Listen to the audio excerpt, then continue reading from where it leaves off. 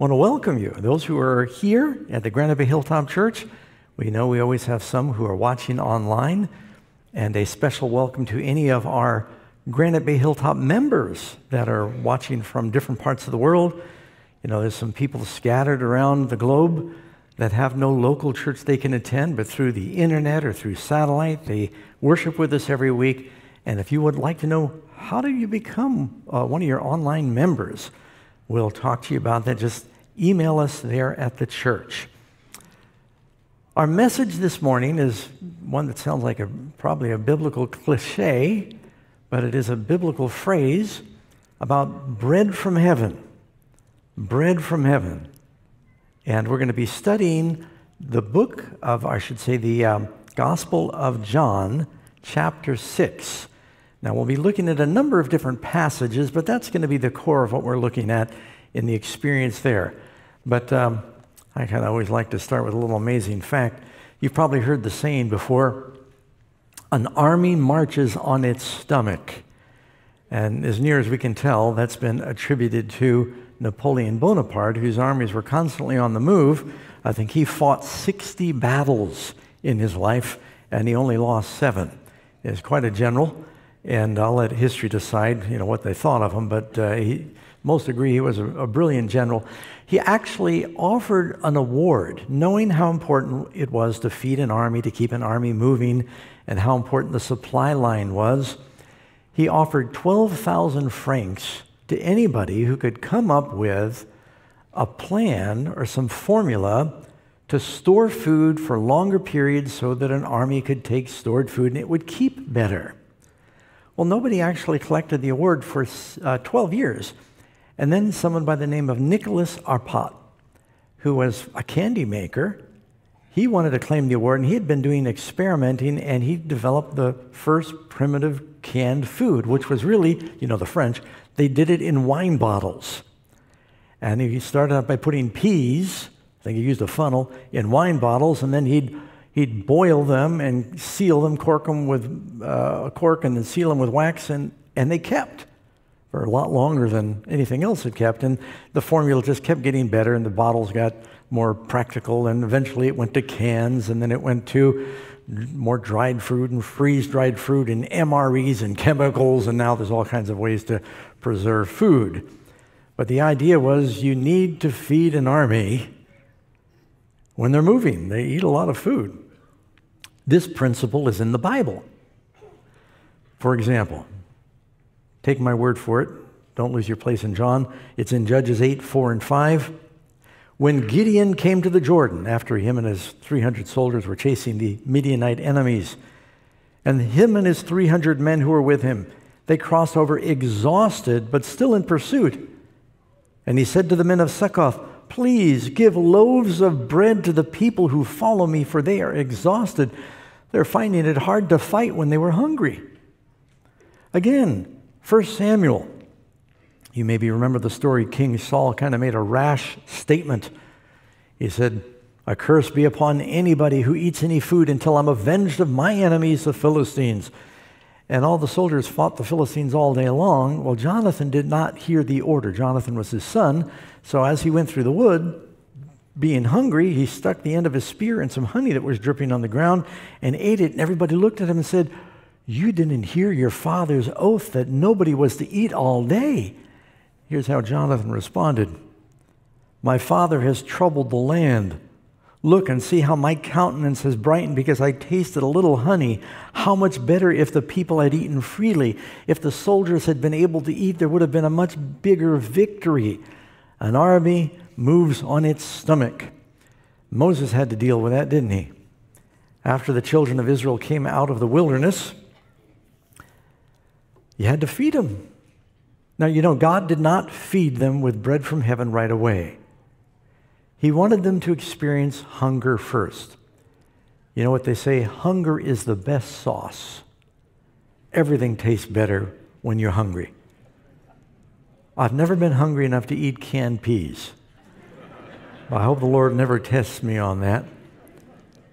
But in Deuteronomy 8, and Jesus quotes from this when he's tempted by the devil Deuteronomy 8, verse 3 so he humbled you and allowed you to hunger And he fed you with manna, but before he fed them, he allowed them hunger. And he fed you with manna which you did not know, nor your fathers did not know, that he might make you know that man doesn't live by bread alone, but by every word that proceeds from the mouth of the Lord. And you know the story. After a few days in the wilderness, they were leaving Egypt and they had basically put some food in a backpack and they had enough for, you know, a picnic or two. And their food ran out and they're heading off into the wilderness towards Mount Sinai and they got hungry. And pretty soon they were murmuring and complaining and saying, We're dying of hunger. And it wasn't that bad yet, but they were hungry. And then God said, Look, I have a plan. I wouldn't have saved you and not thought about this. We're going to rain bread from heaven. And when that manna came down from heaven, you know what the word manna means? Manna means, what is it? Because when it first appeared, they all looked at it and it says it was round. It was like a whitish yellow color, like coriander seed. And when they made it into loaves or, or uh, tacos or whatever they made out of it, it, it um, they said it tasted like honey wafers. So here you read that, in Exodus 16 is where the manna appears. Then the Lord said to Moses, Behold, I will rain bread from heaven. There you've got it in the Bible, bread from heaven. And the people will go out and gather a certain quota every day, that I might test them whether they will walk in my law or not. You have bread is just core to the experience of Israel. First time you find bread in the Bible, who knows what chapter? Who knows what book? Genesis chapter 3. In the sweat of your face you will eat your bread. And you find it all the way in Revelation, except it calls it manna there. So you find bread from cover to cover in the Bible. And as you already know, it's an analogy of Jesus. And so that's just something to think about.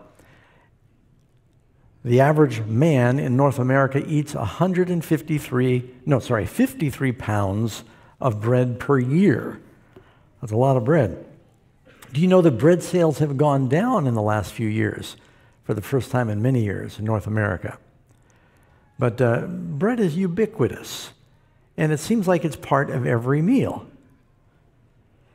You can read here in Nehemiah 9:15, "You gave them bread from heaven for their hunger, and brought them water out of the rock for their thirst, and told them to go in and possess the land that you had sworn to give them, to give them."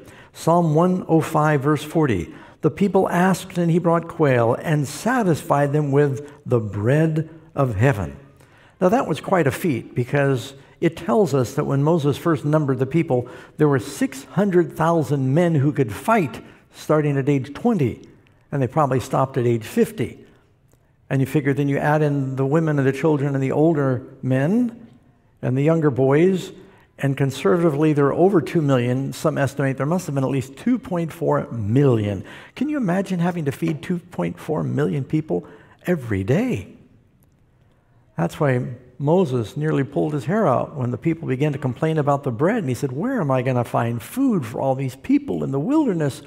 And God said, Moses, my hand is not, my arm is not shortened that I cannot save. I'm God. And he did it not only with the manna, but later also with the quail. So, what we're talking about today is we're talking about the miracle of the manna, the miracle of multiplication, the miracle of migration, and then the meaning of the miracles. Those miracles are mentioned all in John chapter 6. So if you turn in your Bibles to John chapter 6, you're probably already there. And I'll start at the first verse. After these things, Jesus went over the Sea of Galilee, which is the Sea of Tiberias, also goes by the name Gennesaret, same body of water. Then a great multitude followed him because they saw the signs which he performed on those who were diseased. And you read in the Gospel of Mark, it says he was healing all manner of sickness and disease among the people. Everybody that came to him, he healed them and he taught them. And then Jesus went up on a mountain where he sat with his disciples. And the time was the time of the Passover fast. It was near. Now, the reason I mentioned the Passover is because there was a lot of pilgrims coming from around the Roman Empire that were going down through the Jordan Valley, and so there was an unusual unusually high number of people in the vicinity at this time. Then Jesus lifted up his eyes and seeing a great multitude coming toward him, he said to Philip, Where can we buy bread that these might eat? But this he said to test him, for he himself knew what he was going to do. Philip answered him and said, 200 denarii worth of bread, that's like three quarters of a year's wages, is not sufficient for them to just have a little.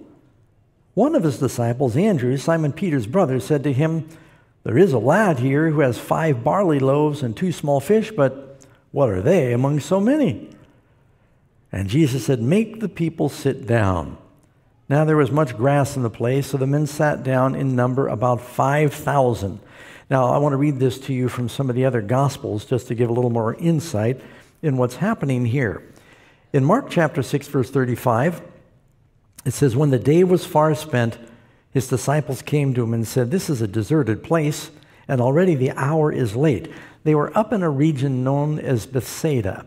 It's across from Capernaum on the eastern side of the Sea of Galilee. It was actually south of what, where the town was because it was in the desert south of Bethsaida. And it says there were some hills there. And if you look at the geography, that was the only place that it could have been.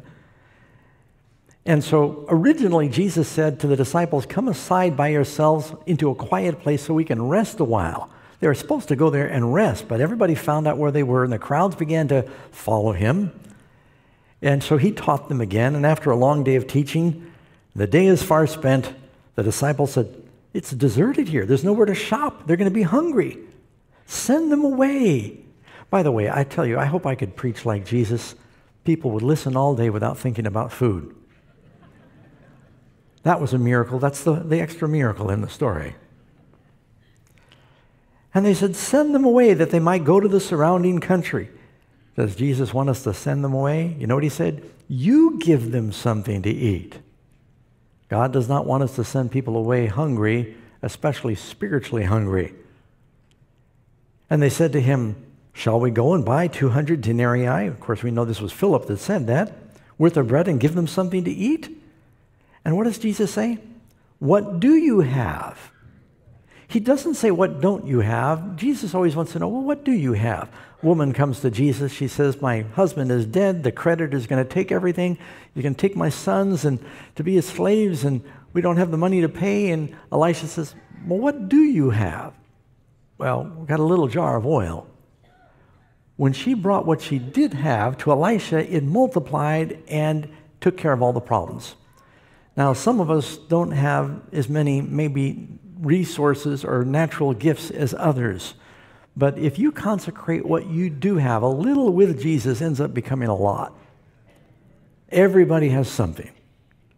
And so they said, Well, we have a little bit. There's, there's a boy here, and he's got five loaves and two fish. You know, five little pita breads and two sardines. Didn't matter. It's not much. And they said, What's that? And Jesus says, Oh, ah, got something. I can work with that.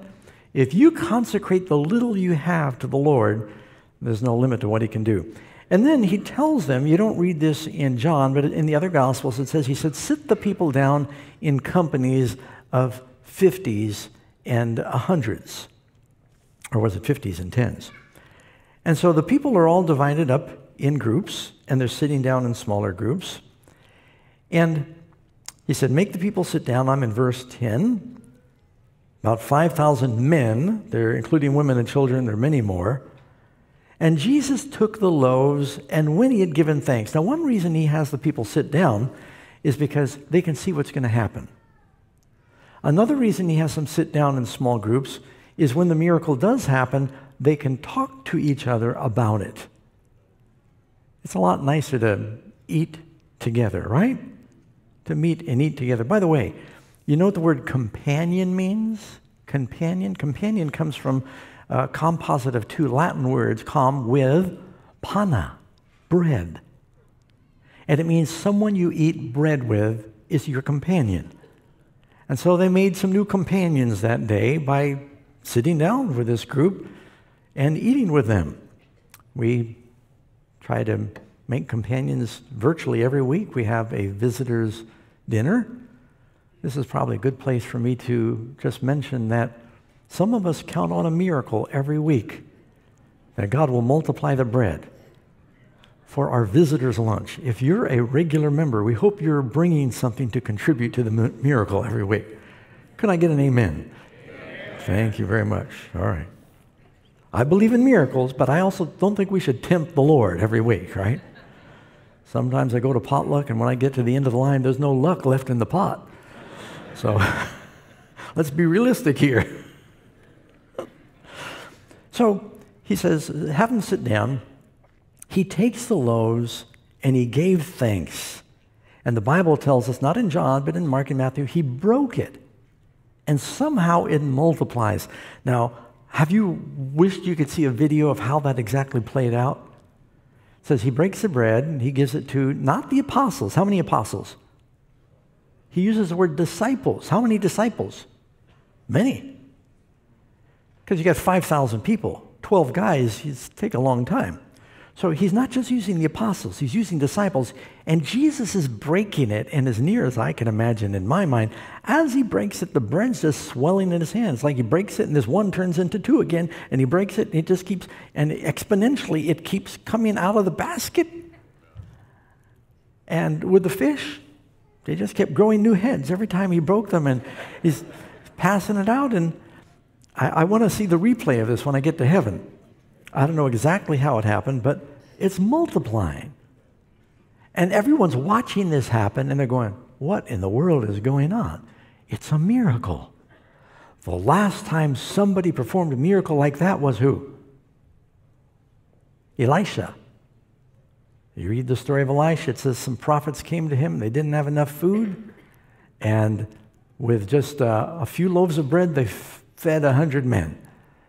And so he multiplied bread. By the way, Elisha's name is very much like the name Jesus. Jesus' name is God is Savior. Elisha's name is Elohim, God is Savior. Just uses a different word for God. But Moses. Now, Moses had prophesied in Deuteronomy chapter 18 The Lord your God will raise up a prophet unto you like me. Doesn't say what his name was. Wasn't saying it's a resurrection of Elijah. It just says, the Lord is going to send a prophet like me. And so, whenever the Jews referred to this enigmatic prophet, they called him that prophet. When they came to John the Baptist, they said, Are you Elijah or Jeremiah or that prophet? You'll find that phrase, that prophet. They're talking about the prophet who would come like Moses. Don't forget that because it comes into the story here. He blesses it. He took the loaves and distributed to his disciples and the disciples of those sitting down, and likewise the fish, as much as they wanted. And when they were filled, does the Lord fill us? Does the Lord satisfy? You know, I, I love that promise that uh, God makes our cup run over. He blessed it. He gave thanks. He broke it. You know, God uses broken things. It takes broken soil to produce a crop, broken clouds to give rain and grain, broken bread to give strength. It's a broken alabaster box that gives perfume. It's Peter, brokenhearted, that goes weeping and comes forth with greater power. And it says they were all filled. Mark 6:42 they all ate and were filled.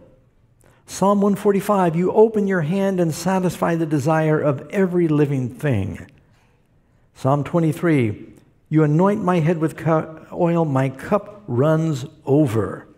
Psalm 78 24 He rained down manna on them to eat, and he gave them bread from heaven. Men ate angels' food. He sent them food to the full. I don't know.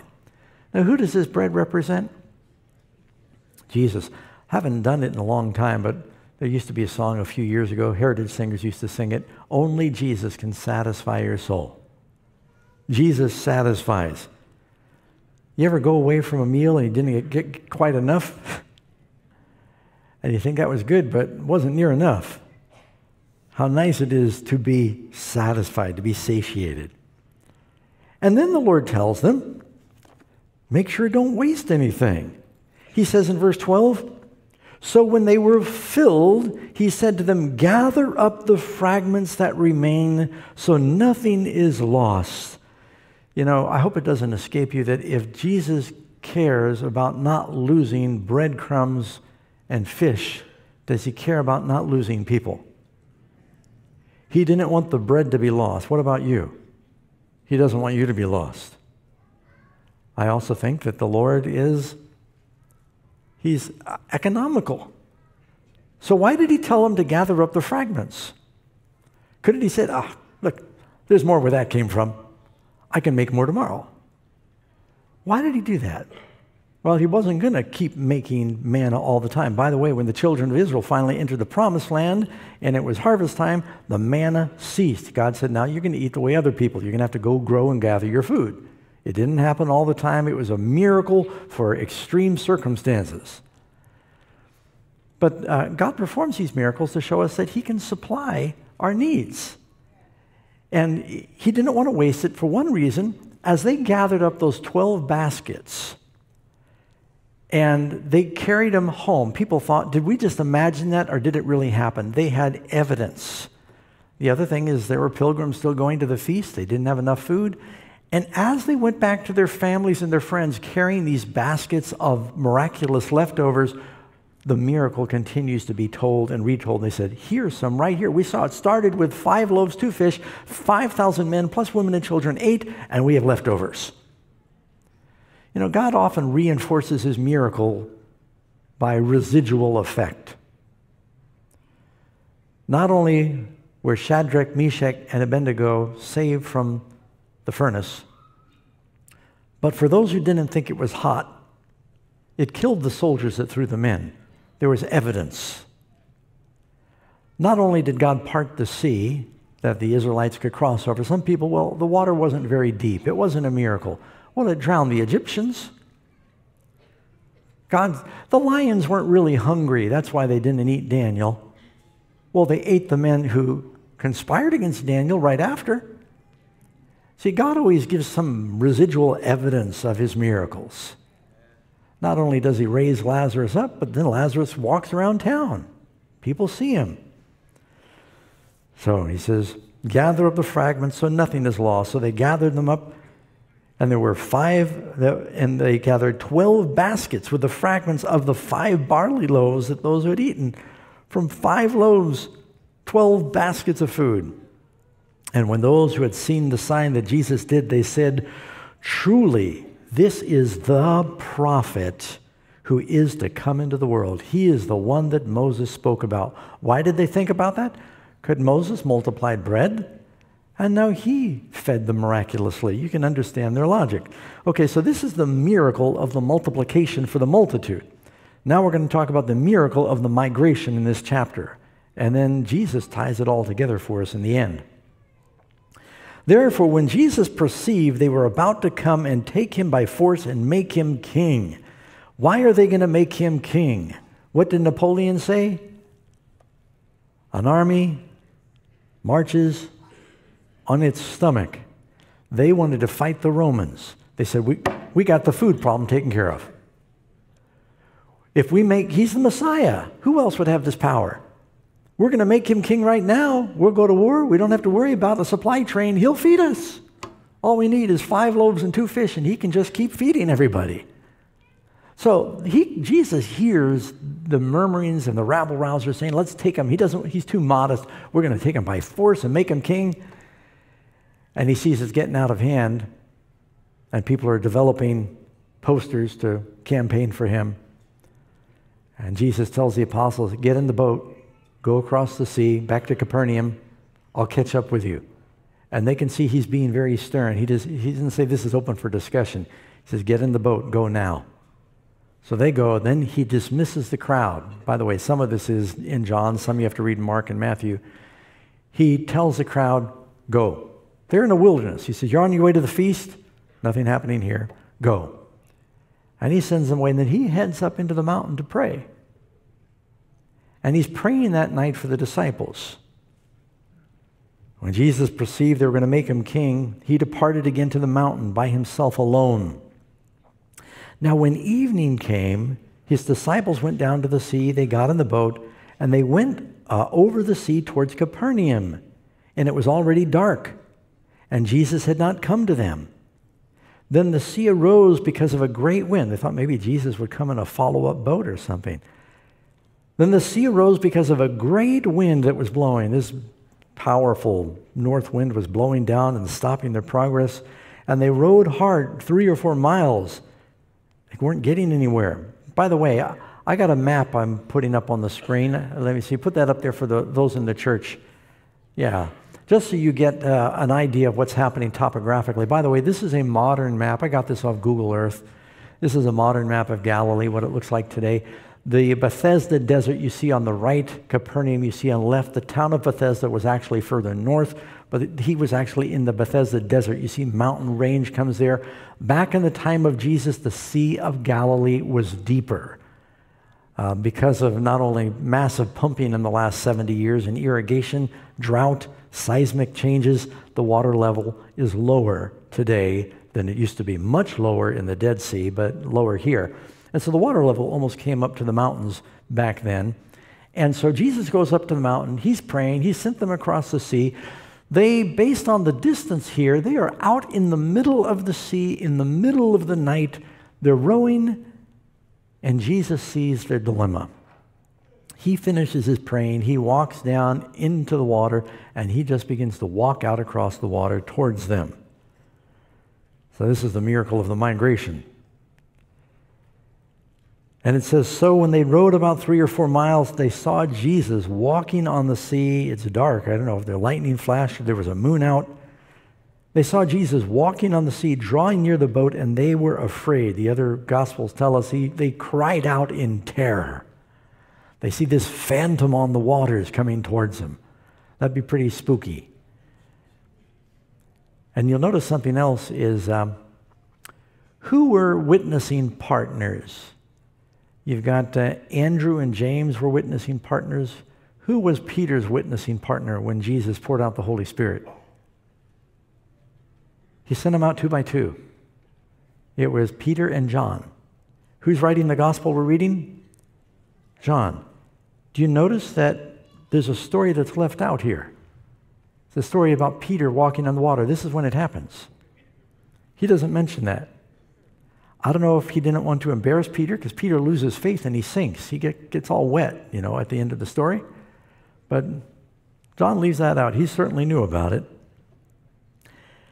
So they saw Jesus and he said, It's I, do not be afraid. Then they willingly received him into the boat, and immediately the boat was at the land where they were going. You know, technology is amazing how voice can travel through the air and television images can travel through the air. And so many things we used to watch on Star Trek are happening today. They've actually got flying cars. It's like the Jetsons. And Dick Tracy watches where I can see video on my watch. Any of you remember that? I thought, oh, that's science fiction. You wonder, will they be able to beam people from place to place? This is a story where Jesus beams the boat and everybody in it to the shore. By the way, can you get the church to heaven? You know, another time in the Bible says Philip baptized the Ethiopian treasurer and they came up out of the water, and the Spirit of the Lord took Philip and he found himself suddenly walking down the road miles away. There may be one other example in the Bible, I'll let you find it. But here, the boat, boom, it's there. By the way, when does Jesus come to them? He tells them to cross the sea. He doesn't tell them it is going to be easy. When he comes to them and does a miracle, they are doing their human best to do his will. This is the way it comes with temptation. God tells you his will. He doesn't say it's going to be easy to fight temptation. He can perform a miracle of victory for you, but he doesn't perform the miracle if you don't row. You catch that? When he came to them, they were rowing. They received him and they got the victory. They were at their destination. So God supplies supernatural power with human effort. He multiplied the bread, but first he said, Bring me five loaves and two fish. He wants us to do humanly what we can do. Then God works miracles. Amen?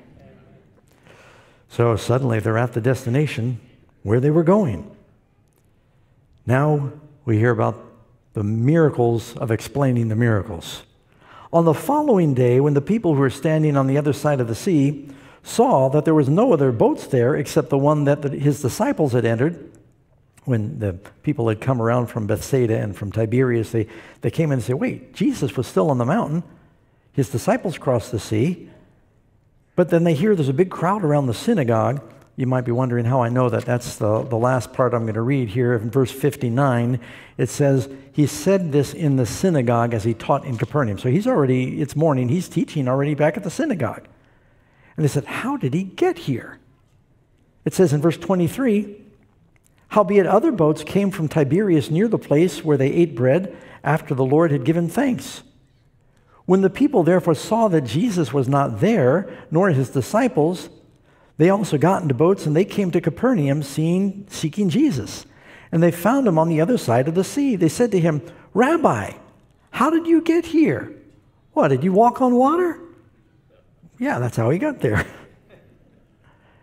and Jesus answered and he said to them, Most assuredly I say to you, you seek me not because you saw the signs, but because you ate the loaves and were filled.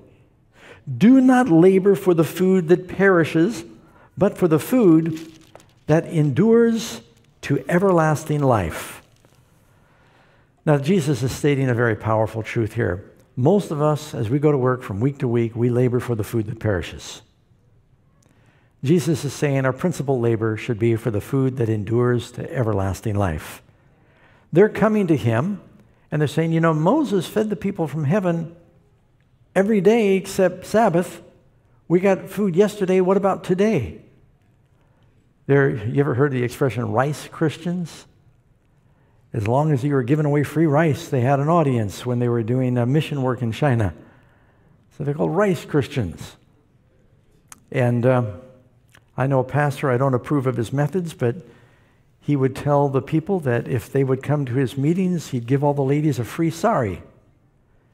Well, they would come. And once they got their free sari, they wouldn't come.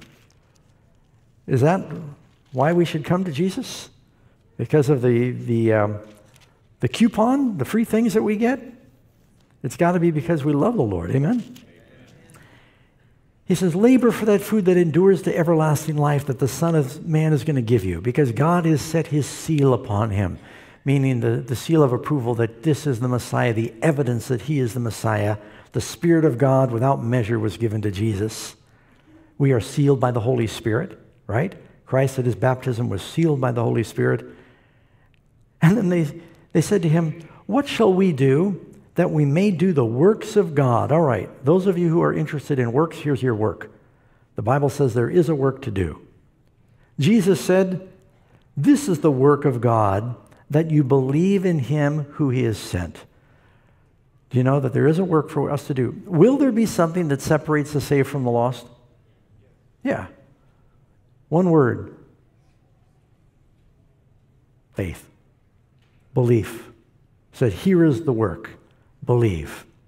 God so loved the world, he gave his only begotten Son, that whosoever believes. Without faith, it's impossible to believe, uh, to be saved. The Bible says we are saved by grace through faith. Saved by faith through grace. Actually, works both ways. It's through faith. Jesus would heal someone. Your faith has made you whole. Faith is the key. Believe on the one whom God has sent. Then they said, What sign? He says faith. And they say, What sign will you perform that we may see it and believe? What work will you do? Now, he had been healing people and cleansing lepers and performing miracles. He had just fed them miraculously. And what do they say? We want a sign. You know, I, I had um, a nice visit with a pastor from India last week.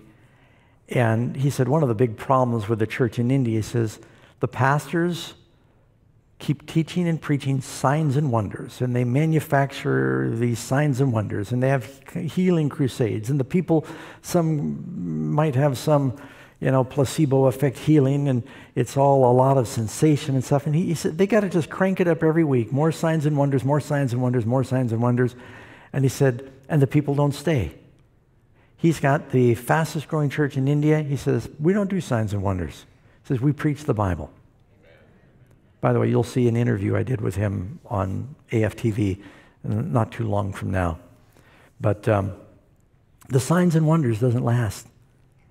Jesus said, if you don't believe Moses and the prophets, you won't be persuaded that one should rise from the dead. Amen?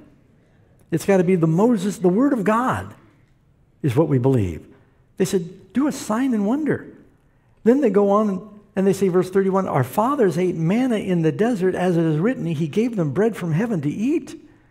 They're hinting, do it again, at least six days a week. You know, one of the ways God reinforced the miracle of the, um, the Sabbath is they would get manna five days a week. If they tried to save it, it would stink and breed worms.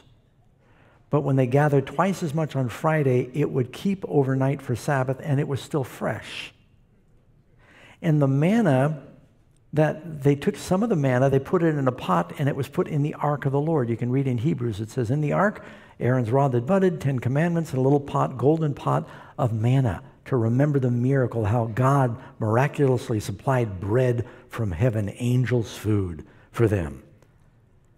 So you not only had the bread on the 12 loaves in the sanctuary that was put out fresh every Sabbath, but you had the manna right there before the ark. Who does that bread represent? Jesus. Where was Jesus born? What town? Bethlehem means house of bread. And where did they put Jesus after he was born as a baby? In a manger. A manger is a, a stone or wooden box for putting grain in. That's bread. Here, the bread of life was born in the house of bread and put in a bread box. Jesus is trying to tell us something. He is the bread of life. Now, bread is everywhere in our culture. It's part of almost, how many of you would say the bread is part of almost every meal? If you eat cereal in the morning, that's grain, that's bread.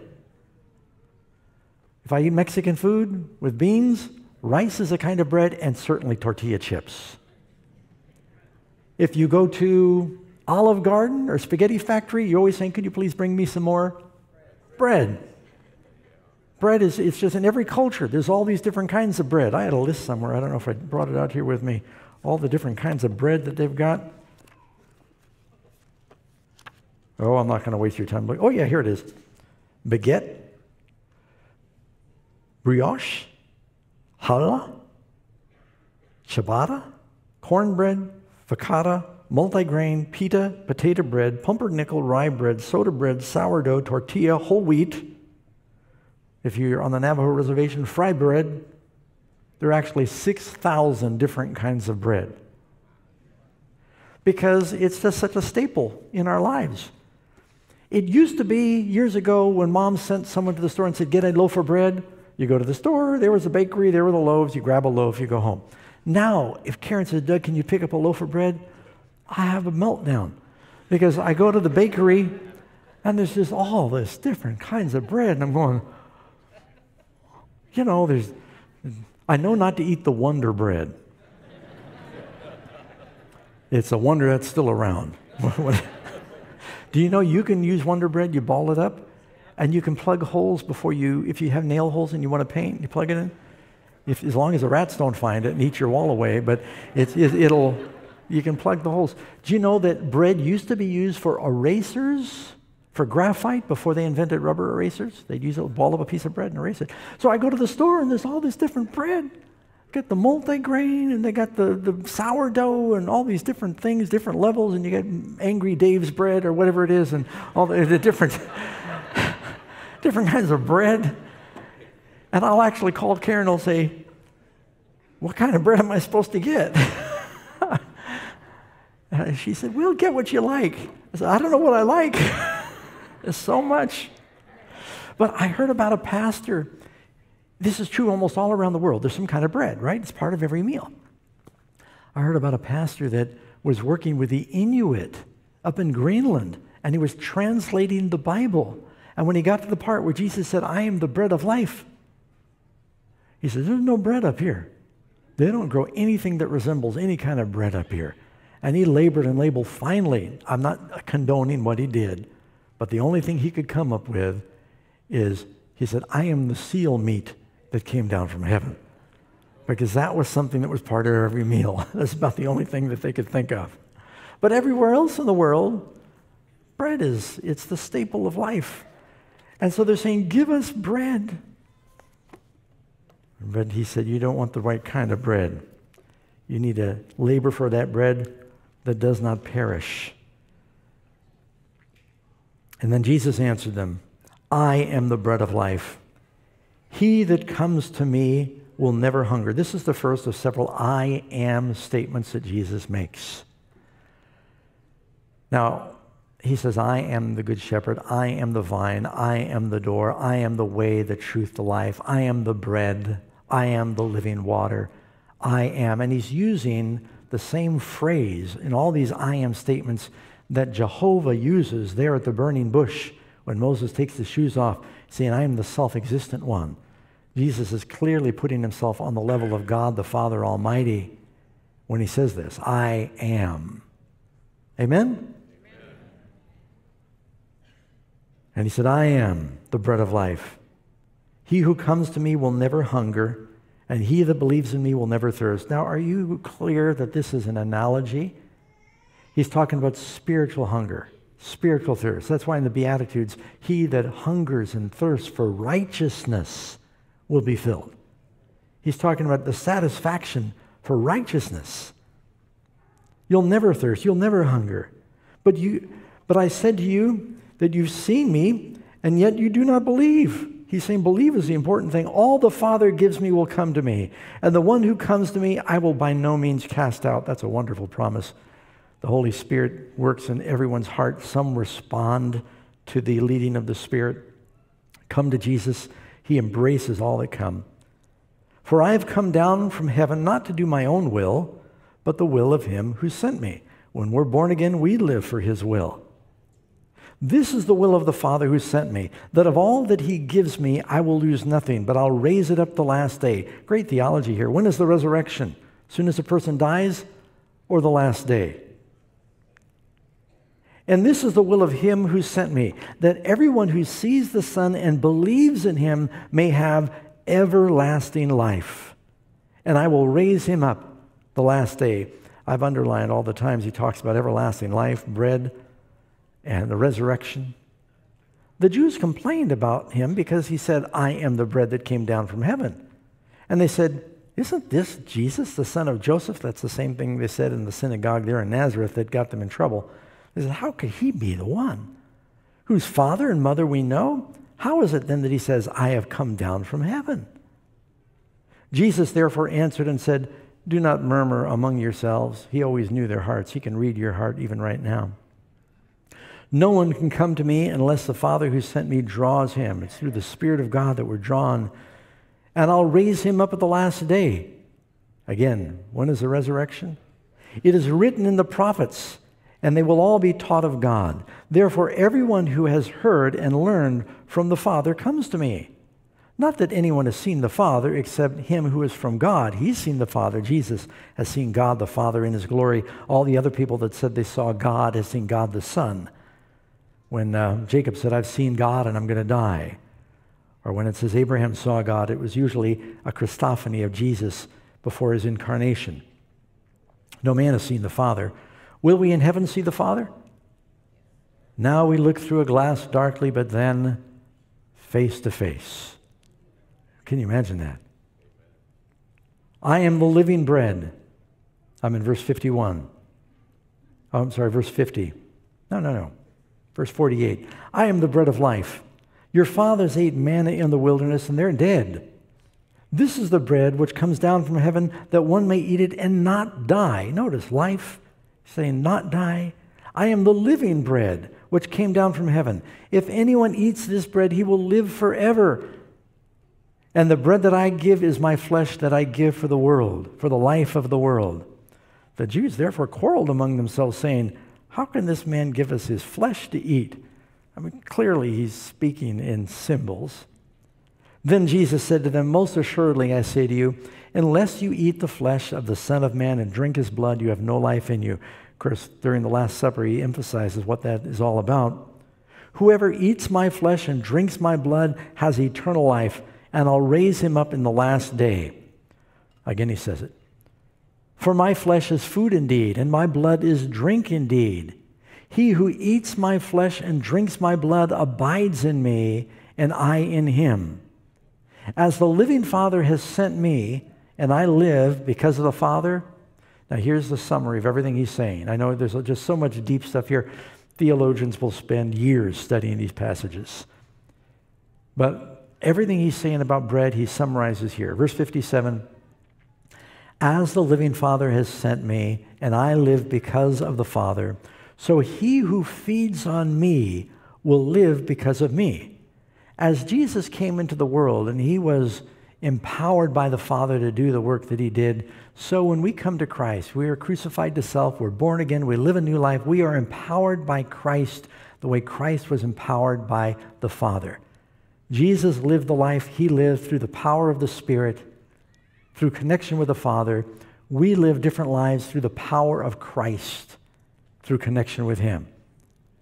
This is the bread that came down from heaven not as your fathers ate manna in the wilderness and they're dead. He who eats this bread will live forever. Have you noticed how often he's emphasizing not die, forever, live life, no life without me, eternal life, raise him up. He who feeds on me will live. He will live forever. What do you think Jesus is trying to, and I didn't quote them all. Verse 35, life everlasting life, verse 40. What is Jesus telling us with this big emphasis on life, life, life, life, life? We're dying. You don't need to spend all your time talking to people about life if they're already, if they have it. But without Christ, he that has the Son has life. He that has not the Son has not life. Unless you believe in him and you come to him, you're terminal. I read um, a story this last week uh, a lady that got a misdiagnosis from the doctor, the lab report. She had pancreatic cancer, five year survival rate, only 7%. It's pretty tough.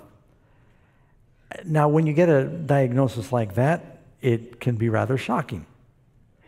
And um, you realize you got a terminal disease and, and uh, get your house in order. You go through a time of grieving and and your family gets together and you all cry, and it, it's, it's pretty shocking when you realize, I'm going to die.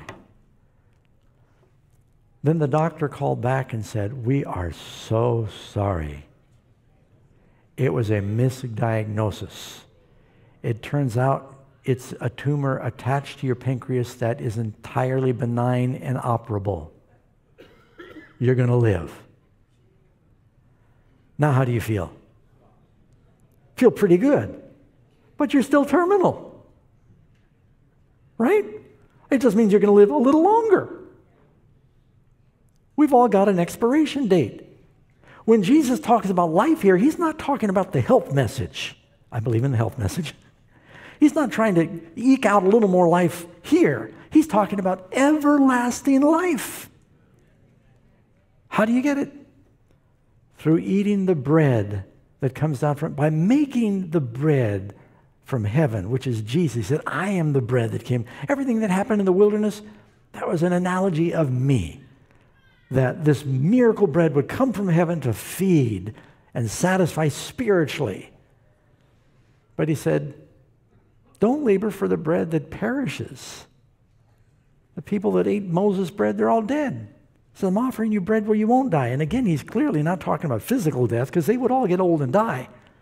But he was offering them a bread where you didn't have to be afraid of dying because you've got eternal life. That's something to be excited about. I saw there was this fable. It's illustrated. This, this man is caught in a communist country. He had crossed over and they caught and they put him in jail. He's in a primitive jail where some old guard is guarding him and uh, the guard is eating this sandwich. The man hasn't been fed in days and he's starving. And um, the guard is called out, and the old guard leaves the room. And there he leaves his cane up by the bars where this man is in prison. And on one table, there's the sandwich that the guard started eating. And on another table, there's some keys. So the man realizes, I can use the cane and pull the table over and eat the sandwich. or I can use the cane and pull the table over and grab the keys, get out, cross the river, and be free. Which would you do? Get the keys. But no, most people go for the cupcake. They think about immediate gratification. We labor for the bread that is not going to satisfy. Isn't that right? We become preoccupied with making ourselves comfortable in our terminal condition. Jesus said, labor, priority, seek first the kingdom of God and his righteousness for that bread that does not perish. This is the bread, verse 58, that came down from heaven, not as your fathers ate manna and are dead. He who eats this bread will live forever. These things he said in the synagogue as he taught in Capernaum, telling us about living forever, that he is the bread of life. I was uh, reading an amazing fact, and um, one of the greatest discoveries of the last century was penicillin. You know how many people have been saved by antibiotics? They had nothing before penicillin. Do you know how penicillin was discovered? Fleming, the biologist, was um, doing his, studying all these bacteria in petri dishes, and he was a, a brilliant scientist, but he wasn't the neatest lab technician. And he had left all these different bacteria in the petri dishes and, and left some lunch out, and he went on vacation. And he came back after his vacation and he went to clean up his petri dishes and he said, Oh, Look at that. This mold is growing on the. Oh, look at that. The bacteria seems to be dead next to the mold. Seems like this mold is killing the bacteria. And he discovered the greatest thing quite by accident. And what he had was a piece of bread that was dying. Moldy piece of bread. Now, don't eat moldy bread thinking it's going to make you feel better because most of the mold is not penicillin. There's like four or five different molds that grow on bread. But 104 is penicillin. It's called penicillium, and that's where we get the name. Dying bread. That's what happens when bread gets moldy. Gave life to the world. Jesus said, Except you eat my flesh and drink my blood. He says, I, am broken for you. I'm dying for you. But you need to take it in. Doesn't do you any good unless it's on the inside, like the illustration for the children's story. Appreciated.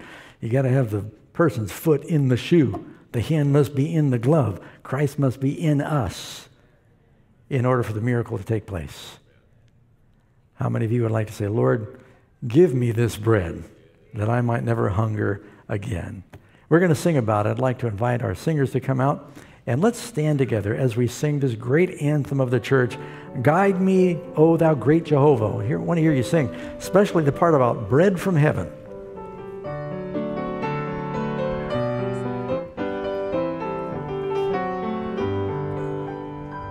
is our prayer. Feed us till we want no more. Satisfy us with that bread of life that Jesus has provided to save the world.